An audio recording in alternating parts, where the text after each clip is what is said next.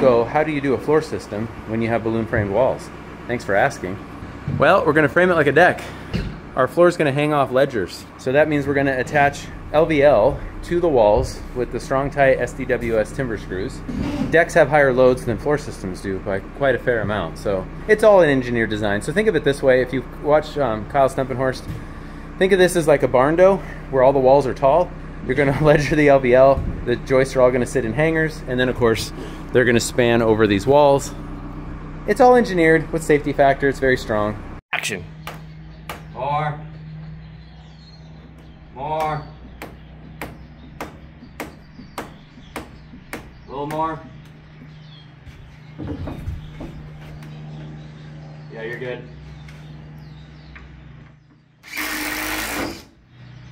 Still good? Yep.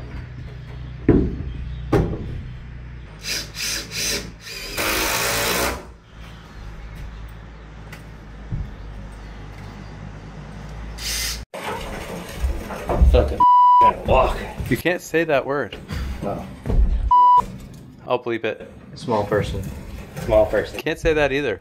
Height challenged individual. No one gave me any warning. Look at it. I was standing away. show you what we're working on and a couple of tips and tricks. So you can see that we've got balloon framed walls. This is kind of what the floor system is looking like. So there's our PWT inch and three quarter by nine and a half ledgers all the way around. We're going to install this last one, which is, it's a full 23 foot stick. I know because I shot it with, ah, that's the beep I heard. This turned off. I'll show you how to use this, by the way. Anyway, here is a tip. Every once in a while, we do something that convinces us that we're smart enough to keep doing what we're doing. We have one win for every 99 whiffs. So many years ago, old Kyle and me, we got in the habit of using boneyard I-joists, whatever the lumberyard had, we could buy them dirt cheap. We'd use them for racks. Like if we had real squirrely 2x12 rafters, we'd screw it to the underside, plane it all out till the roof was on, either leave it or take it off depending on the case. We would use them to brace forms. Pretty genius? Ah, it's, it's the only good idea I've ever had. They're nice and lightweight. They're super straight. You could do this with a nine and a half inch joist. Typically, we'll put a screw on each end and then in the middle. If it's everything's nice and tight to that I-joist, good enough.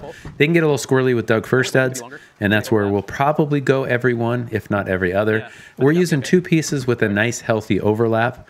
I want to overlap at least two joist bays. I don't know. That just seems like then we're more likely to get nice and laser straight. To me, this is extremely important because our floor system is going to be our diaphragm, and I want that to be just perfect. One of the difficulties can be when they're really tall studs is trying to keep it nice and straight with a minimum of bracing down here so that we can still work. Bam, a couple of I-joists screwed to the wall. It makes these things laser straight. I mean, the I-joists are just dead nut straight. And so even though we're using LVL studs and they're nice and straight, because they're so long, we want a nice even plane right below the top plates. So we just cut out that end stud. And one of the advantages of that is that it minimizes the amount of bracing. We're not bracing through here at all down because we know we're plumb there and we know we're plumb right here at this wall. Now we got a place to put some of our tools. We're using up the power wool on edge and just shoving it in because the ledger, like there, it's going to cover between our fire block line, which is also our sheathing panel edge blocking. We need to insulate behind the ledger because no one will get to that later. These are the little giant planks we bought a couple years back on the Reachcraft Bronco. I mean, we started using these in the 90s. Finally got rid of our, our very first pair just a couple years ago. We have four of these now. There's another look. That's one of our older pair. It's black. And that is just fantastic. So now we can install this, screw it in, lay it out, and do all of the hangers. Yeah, it's just facing the wall. oh, I've done so many dumb things. Your keys are in the van. They're on the cup holder on my passenger seat. And if you can't find them, but the car starts, you know they're in there. okay, so I'm gonna leave that guy going. Let me just sync these all up. Hey, yeah, who has two thumbs and looks like a real moron? Not that guy. I only got one, no. Okay. Oh, this is my favorite part. These planks, dude. Hey, Heyo, I'm okay. I'm okay. There we go. Okay, so I can see the PWT along with all my cameras. Oh, the old, good old days of no cameras. All right, I've got 26 foot 8 and 13. Let's go 26 foot 8 and 10. 26 foot 8 and Yeah, we'll go 3 16 short. Let me show you this. I, I don't really use laser distance tools. I've got this one from Stabila. We tried them out way back in like 2007, and it was hard for us to see the dot over long distances. Kyle Stumpenhorst told me I need to be using this, so I'm gonna follow his advice. But what's great about this one is it has a camera built into it. Oh, look at that. It's looking right at Kyle shiner. That's pretty funny. So now, if I shoot that right across, let me zoom in. Look at that. It is right at the PWT ledger on the other end. There's my cameras. And then if I tilt this, get rid of the glare, 26 foot 8 and 3 quarters. Let me zoom in a little bit more. So there you see the number. 26, 8 and 3 quarters. And then you also see exactly where I shot that. Good thing we left all the braces out. Yeah. Look at that. 26 foot 8 and 5 eighths. Big skinny. Look at that.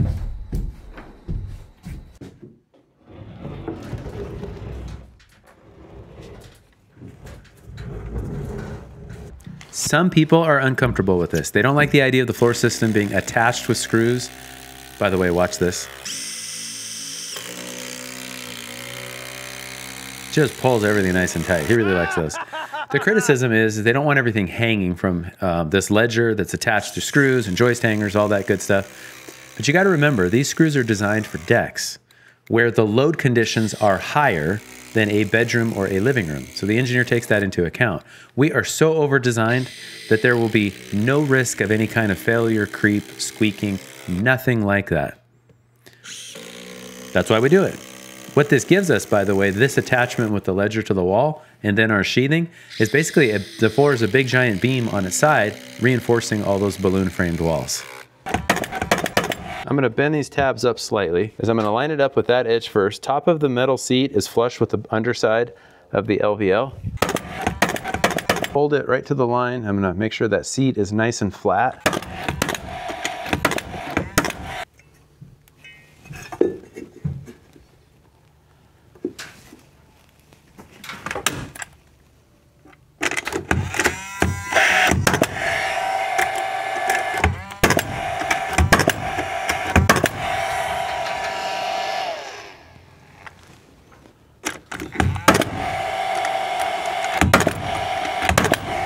Hey, top of the late morning to you, everybody. So let me show you our approach to bracing. This house lends itself to it a little bit better. We have very few braces to hold everything straight, plumb, and parallel. I used to work with a guy that said that you should have so many braces that you would trip over them and couldn't work.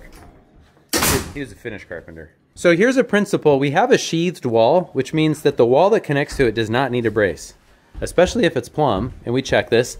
So we're connected to that sheathed wall and this one, no brace needed on the hallway.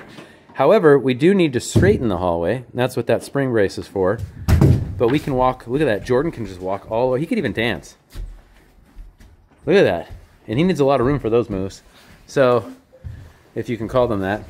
Then here, because we don't have anything attached to the sheath, then we need to brace that nice and plumb. Because here's the secret weapon couple of extra I-joists screwed to the wall. Those things are laser straight, and I will demonstrate that to you. It is dead straight. So sometimes what we'll do is we'll string line this, and then we'll straighten the wall with braces if needed, but those I-joists are holding it, like right where we want it to be. When we had like an eighth bow, when we released that brace just a little bit, straightened right up.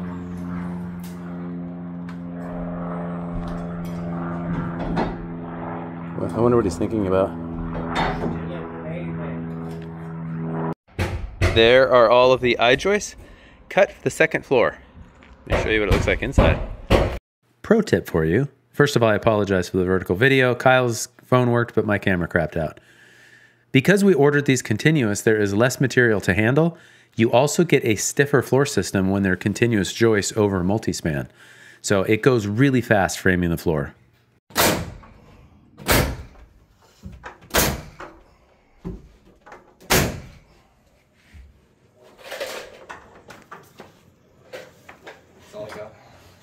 There's a look at it from up above. So while the guys were framing the floor, I was framing the stairs. I have the studs run long for the half wall so that that is ready to go for later. There we go, all the way around. An engineered connection. So that wall was two stories high. That wall, that wall behind me, this guy. And so here's what it looks like upstairs. We went ahead and set the ridge beam because we don't have access with the forklift. I don't want anybody to be up super high. So anyway, there is where we're at. This week's video is sponsored by Squarespace. As you know, I've been using Squarespace. It's gonna be six years here in just a couple of months. It is the easiest thing, one of the easiest things I've ever done. It's even easier now with the AI tools. So here's my personal opinion. Everybody needs a website. You need it as a landing page that maybe points people to your gallery, your services, what sets you apart. But we don't really have time. I'm busy framing, editing content. I don't have a whole lot of time for that kind of stuff. So that's why I went with Squarespace back in 2020. That's why I still use Squarespace. So head on over to Squarespace because you can use the coupon code Awesome Framers to save 10% off a domain or your first website. Just give it a try. Just go set something up quickly. If it seems easy to you, then keep going. Squarespace.com slash awesome framers. Hey, happy Friday, everybody. Check it out. We've got a dance floor. Look at that. I say we leave out the walls. We don't need them. We don't need walls. This is this is my bedroom. This whole thing is my bedroom.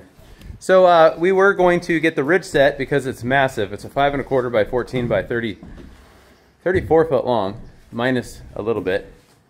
But we're all kind of tired and we think we'll just snap lines and go home because we can do that. So that's what we're gonna do. Does that sound okay to you, Kyle? Yes, sir. Sign me up. You, are you sure you don't want to work late? I'm good. Okay.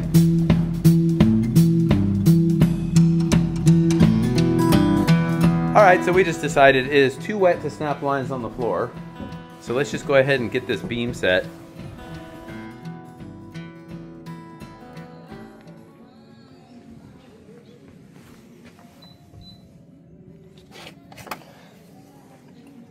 Thirty-three foot ten and thirteen thirty seconds. Look, we checked How, it. how, how many times are you going to Three take that number? Well, we know that's a. That is a five and a quarter by 14 by 30 by 35 foot long. It'll get cut down to about 34 feet. How much does that bad boy weigh? So basically the reason why we've got it in here now before walls is because we came in through the window, put it on sawhorses, and then when Kyle comes up and above with the truss jib, then he doesn't have to have all the weight of this thing swinging up high. He can get into position much more safely because there's not that much room out there. Can you imagine having this thing up like 20 feet or 30 feet? Screw a handle on huh? Yeah, I was thinking about that, but it is pretty slippery.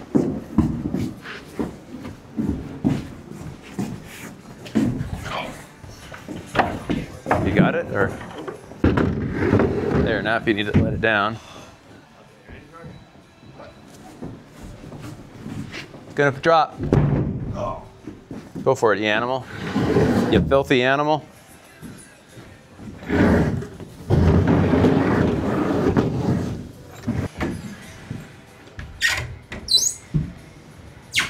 Oh yeah. Yeah. Yeah, that'll just make it easier to get around.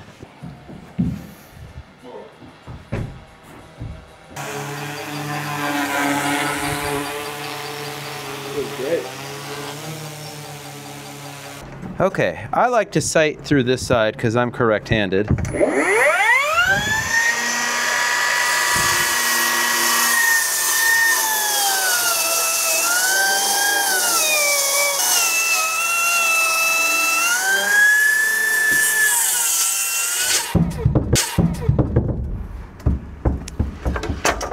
Good old LVL.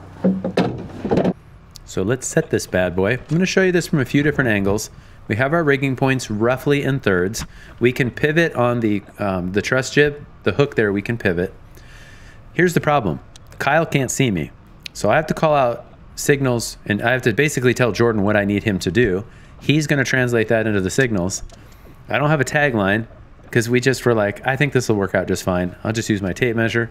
It's like the world's best tagline, by the way. Kyle had it really close. You see there, he's leaning. I just was making some mistakes, but it's okay. We're going nice and slow. I have a 12 foot, very stable tripod ladder. I'm like three rungs down from the top, so there's no issues with safety there. We just have to be patient, which patience is our middle name. So look at that, we got it. That Cornerstone Industries truss jib, by the way, has just been fantastic. With that shackle and hook in the middle plus that chain, highly, highly recommend.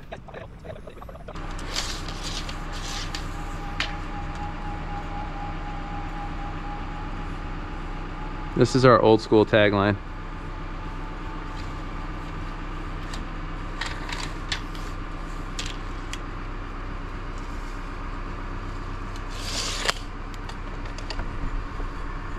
Okay, here's what I... Yeah, nice and slow.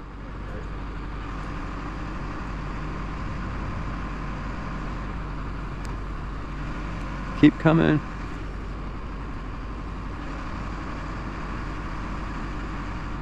Rats, man. This is not easy. We're just in, it's like, it's amazing to me. Have him stop. Um, I guess boom out.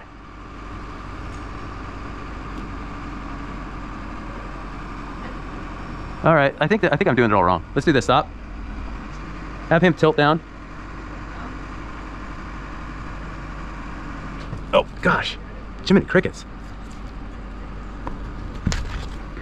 Okay, have him stop. Now, that side's in. But can I tip it? Okay, I have an idea. Have him boom out just a hair. Okay, stop. Now, if I, if he very slowly tilts down, I'm gonna try to aim it in there. So when you get extended out like that, so much of this is the skill of the operator. Let's just say I had all of my signals perfect. It doesn't matter.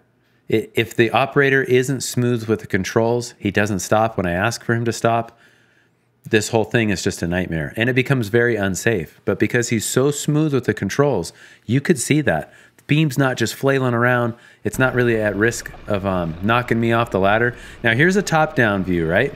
You can see where I'm at on the ladder. There's that uh, Milwaukee tagline, my tape measure. Now, sped up like, I don't even know, 300, 3000%. I sped this up away quite a bit. It's still not just flopping around. And if you look at the, on the uh, top right there, there's the view from the truss jib. I have this camera mounted with a magnet. See, he's nice and slow. The other thing that you want to want to really think about when you're operating is which of the hydraulic pumps is the smoothest. Generally, the tilt, boom in and out, and tilt sideways give you the most nuance. Going up and down with heavy weight and fully extended, it's a lot harder not to just suddenly drop. And you see that Kyle just did a fantastic job with that. Take the rigging down, 12 foot ladder, bibbity boppity. And Bob's your uncle. All right, it's up. It took it took a few tries. We'll we'll post the video, but uh, with the one 12 foot ladder and Jordan signaling down to Kyle, you know, you're kind of manhandling it from this side, trying to twist it in. So there it is, giganto beam.